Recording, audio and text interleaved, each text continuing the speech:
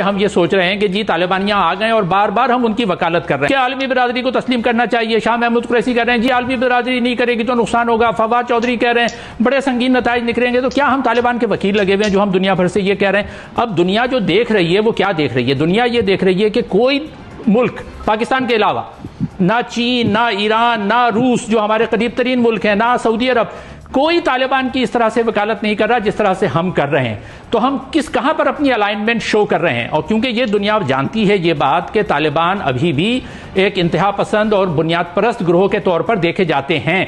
एक इंतहा पसंद और बुनियाद परस्त ग्रोह जब एक मुल्क पर काबिज हो जाता है और हम उसकी वकालत करते हैं तो हम दूसरे लफ्जों में दुनिया को यह बता रहे हैं कि हम भी इंतहा पसंदी और बुनियाद परस्ती के साथ हैं। ये हम बहुत रॉन्ग और गलत किस्म का मैसेज दुनिया को दे रहे हैं। जिसका नुकसान हमें माशी तौर पर, तिजारती तिजारती तौर पर, सियासी तौर पर और सबसे ज़्यादा पाकिस्तान के अंदर सम... बात माने जाने तक तालिबान हुकूमत को तस्लीम न करे। अमरीकी वज़ीर खारजा एंटनी ब्लिंकन ने कहा है कि तालिबान अफ़गानिस्तान से जाने के ख्वाहिशमंदों के महफूज इनखला और खातन के हकूक का एहतराम करें। पाकिस्तान को इन मकासद के हसूल के लिए आलमी बरदरी के साथ खड़ा होने की ज़रूरत है। उन्होंने ये भी कहा है कि अफ़गानिस्तान के हवाले से पाकिस्तान के कुछ मफादात हमारे मफादात से मुतसादम है। सवाल हमारा यह है कि पाकिस्तान आलमी बरदरी के मुतालबात माने जाने तक तालिबान हुकूमत को तस्लीम ना करे, ये कह रहा है अमरीका। तो क्या पाकिस्तान को ऐसा ही करना चाहिए? जनरल साहब, आप क्या कहेंगे इस पर? देखिए, ये तो खुद उन्होंने कह दिया कि मफादात हमारे मुतसादम हैं। तो अगर अमेरिका के साथ हमारे मफादात का तसादम है तो क्या हमारी खातर, हमारे मफादात के लिए अमेरिका अपने मफादात को कुर्बान करेगा? वो हरगिज नहीं करेगा। हर मुल्क को अपने मफादात सब सबसे पहले सामने रखने चाहिए। तो बेसिक असूल के मुताबिक तो पाकिस्तान को सबसे पहले अपने मफादात देखने हैं और अगर अपने अपने मफादात देखते हुए, उनको पूरा करते हुए अगर वो अमरीका के मफादात के लिए कोई काम कर सकता है तो बड़ी अच्छी बात है। इसमें ऑप्शंस हमारे पास ये हैं कि हम खत्े के ममालिक के साथ अपनी कोऑर्डिनेशन रखें। और यहाँ पे अगर आपका लेट से शंघाई कॉपरेशन है, वहाँ पे आपका अगर एक इतफाक राय पैदा हो जाता है, और ख़ास तौर पे वो मुल्क जिनके बॉर्डर्स जिनकी सरहदें मिलती हैं अफ़गानिस्तान के साथ, अगर वो तस्लीम करने के लिए, अफ़गानिस्तान को रिकगनाइज करने के लिए तैयार होते हैं तो पाकिस्तान को उनको करना चाहिए। और अगर हमारे ये मुल्क भी तैयार नहीं होते, ये भी कहते हैं कि हमारे मुतालबात वही हैं तो फिर हमें उनको तस्लीम नहीं करना चाहिए। अब मुतालबात क्या है? ये सामने लाना चाहिए। आज आपने देखा कि अफगान फॉरन मिनिस्टर की प्रेस कॉन्फ्रेंस थी और उसमें उसने वादे किया, जो इंसानी हकूक की ये बात करते हैं अमरीका या कोई और मगरबी दुनिया, वो मेरा ख्याल है कि आज यहाँ पे उसकी वायलेशन नहीं हो रही। अगर आप तालिबान के आज के अहद को, जो भी वो शुरू हुआ है और उसका नबे की दिहाई में जो उनका तर्ज हुकूमत था अगर उसको सामने रखें तो बहुत बड़ा फ़र्क नज़र आता है। मेरा ख्याल है कि जितनी इंसानी हकूक की पासदारी और जितना इन्होंने ख्याल किया है, इस वक्त के तालिबान ने वो तो मगरब में भी कभी नहीं हुआ। मगरब में जितना तबाही मचाई इन्होंने, अब अफ़गानिस्तान में भी कोलेट्रल डैमेज आप देख लें, अब भी जो ये करके गए, यहाँ पे जब एयरपोर्ट पे हमला हुआ है सुइसाइड बॉम्बिंग हुई है तो एक जीप में दो लोग मारे, वो कहते हैं कि जी, वो वो लोग थे जिन्होंने प्लानिंग की। लेकिन जो इन्होंने बाद में दूसरे दिन जाके हमला किया उसमें तो वो बच्चे मार दिए। बिल्कुल वो तो कोई ऐसे थे ही नहीं, लोगों को टेररिस्ट नहीं थे। तो खुद इंसानी हकूक की पामाली, जबकि तालिबान ने इंतहाई आला जरफी का मुजाहरा किया, उन्होंने आम माफ़ी दी है। जानते हुए कि इनमें वो लोग मौजूद हैं, जो लगातार तालिबान के खिलाफ साजिशें करते रहे, जंग लड़ते रहे। और वो बाद में भी ये काम करेंगे, इनमें से बेशुमार हैं जो कि, जिनके ताने बाने बाहर हैं।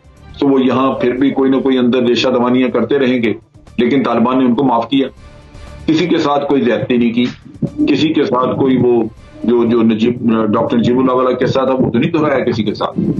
तो बात यह है कि रह गई खातन के हकूक का मसला।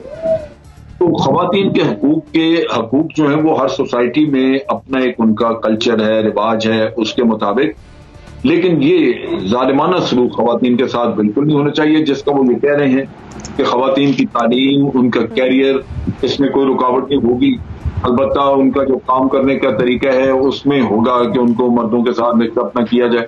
ये उनका कल्चर तो मेरा ख्याल है कि इस पे हमें दुनिया को एक वाज मैसेज देना चाहिए कि आपको भी उनके साथ डिमांड्स ऐसी नहीं रखनी चाहिए कि वो कल को वहाँ पे इन जो इंसानी अलमिया सोचा जा रहा है वो उससे ज़्यादा बड़ा इंसानी अलमिया वहाँ बन जाए। और फिर तालिबान जो है वो दोबारा चले जाए मुनशियात की तरफ़ उनके लोग मुनशियात बनाने का काम वो लोग उगाने का काम शुरू कर दें। क्योंकि लोगों ने खाना तो खाना अपनी जरूरियात पूरी करनी। तो जो कुछ चाह रहे हैं उसके मुजमरात की तरफ़ भी तवज्जो देनी चाहिए ताकि अफ़गानिस्तान में इंसानी अलमिया जन्म ले। ठीक है। डॉक्टर नाजिर साहब अगर अफ़गानिस्तान के हवाले से पाकिस्तान के मफादात का तसादुम है अमरीका से तो फिर ऐसी सूरत हाल में पाकिस्तान को क्या करना चाहिए? सिर्फ़ ये अमरीका की बात नहीं है, और ये असल में पूरी जो आलमी बिरादरी की हम जो बात कर रहे हैं तो वो आलमी बिरादरी क्या है बुनियादी तौर पर देखिए, माइनस चीन अगर आप करें तो हमारा सबसे ज़्यादा ट्रेड जो है, वो अमरीका, यूरोपियन यूनियन, बरतानिया और उनके जो एलाइज हैं, सऊदी अरब मुतहदा अरब अमारात। इनके साथ हमारा बुनियादी तौर पे जो तजारती ताल्लुक है, इनसे है। चीन के साथ हमारा सिर्फ़ टेन परसेंट का पूरा जो हमारा ट्रेड है, जो हम एक्सपोर्ट भी करते हैं, उसका सिर्फ़ दस फ़ीसद चीन जाता है, बाकी नब्बे फ़ीसद हमारा आलमी बरादरी जिसको हम कहते हैं वहाँ पर जा रहा है। तो हमें जब हम मफादात की बात करते हैं तो मफाद हमारा है क्या? हमारा सबसे बड़ा मफाद ये है कि हमारा ट्रेड दुनिया से चलता रहे, हमारी एक्सपोर्ट्स हमारी चलती रहे, हमें जो जीपीएस वगैरह का जो हमें वहाँ मिला हुआ है प्रेफरेंशियल ट्रीटमेंट वो हमें मिलता रहे। हमारे ये मफादात हैं।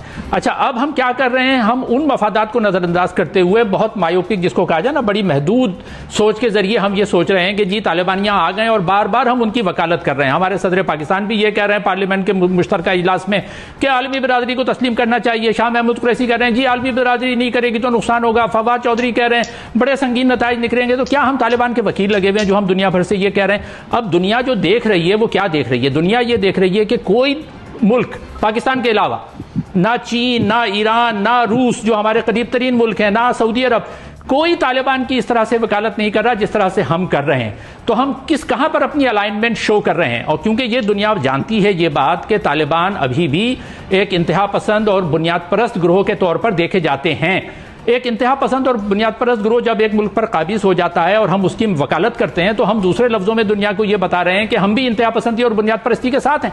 ये हम बहुत रॉन्ग और गलत किस्म का मैसेज दुनिया को दे रहे हैं, जिसका नुकसान हमें माशी तौर पर तिजारी तजारती तौर पर, सियासी तौर पर और सबसे ज़्यादा पाकिस्तान के अंदर समाजी तौर पर होगा कि हम पाकिस्तान को कहाँ ले जाना चाह रहे हैं। हमने, हम अटक गए हैं, जिसको कहते हैं ना स्टक इन टाइम हम अटक गए हैं, जो हमारी पसमानदा पॉलिसी 40 साल पहले शुरू हुई थी, हम उसी पसमानदा पॉलिसी पे अभी भी हम चले चले जा रहे हैं।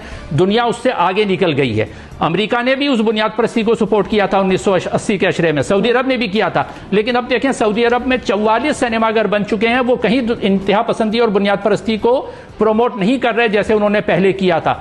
यूएई जो है वो बहुत ज़्यादा बुनियाद परस्ती के खिलाफ खुलकर सामने आया हुआ है। लेकिन हम अभी तक जो है वो स्टक हो गए इसका नुकसान हमें होगा। ठीक है। जुनैरा क्या कहेंगी क्या पाकिस्तान इस पोजिशन में है कि वो अमेरिका के इस मुतालबे को एक्सेप्ट या रिजेक्ट करे? कि पाकिस्तान इस अमेरिका इस वक्त पाकिस्तान से क्या डिमांड कर रहा है। लेकिन अगर इस क्वेश्चन को सामने रख भी लें तो ये कि हमने अमेरिका के साथ चलना है। हमें हर हाल में चलना है बिकॉज़ वो इस वक्त वर्ल्ड ऑर्डर का हिस्सा है, वो कोई रोग स्टेट नहीं है, कोई ऐसी दुनिया से उनका ताल्लुक नहीं हो गया जो यहाँ से निकल गए हैं तो वो बिल्कुल out of sight out of mind वाली बात हो जाए। हमने उनके साथ भी चलना है। आप चाइना को देखें, चाइना पे तो किसी इंटरनेशनल वर्ल्ड का कोई प्रेशर नहीं है कि वो तालिबान को एक्सेप्ट ना करे, लेकिन वो नहीं कर रहे। रशिया को देखें, रशिया भी नहीं कर रहा। रेफ्यूजीज लेने से साफ़ इनकार कर रहे क्यों? क्योंकि हर कोई अपने मुल्क के इंटरेस्ट को देख रहा है।